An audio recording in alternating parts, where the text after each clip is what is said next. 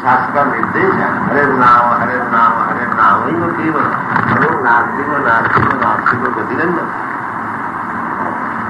हम लोग का प्रचार विजय है आप लोग को भी कहते हैं निवेदन करता हूँ पीजिए लाभ उठाइए बड़ी आपका कुछ है कि जो ये काम आदमी करता है वो भगवान कराता है ये क्या मतलब ये आप इसको आपने पेश है ये भी तो भगवान कराता है।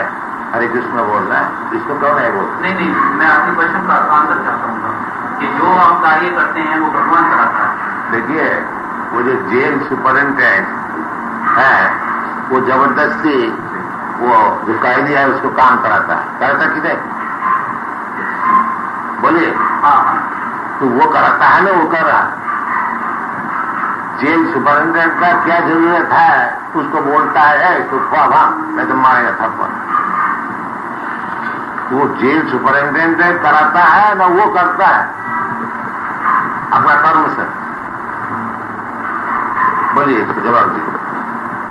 मैं तो आपको फॉलो नहीं कर सकता नहीं देखिए जो जेल सुपरिंटेंडेंट वो खड़ा होकर के एक आदमी को बोलता है खो खुआ भाग और इसको खो नहीं तो लाठी लगा। तो उसको कराता है ना वो करता है।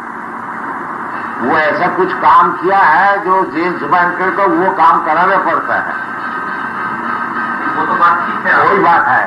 आप कुछ काम ऐसे कीजिए जिसका फलस्वरूप आपको काम और कुछ करने पड़ेगा।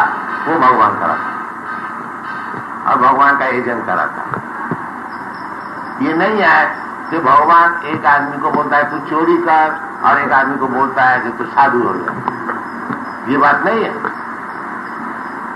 जो चोरी किया कहा उसको बोलता आओ तू चोरी कर। और और तू उसको पीटा जाए। खूब अच्छी तरह। नहीं तो फिर उसका कौन रेस्पॉन्सिबल हुआ। को की- तो वही हुआ। तुम चोरी किया क्या?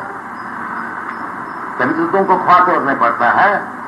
जो चोरी नहीं किया है उसको नहीं पड़ता।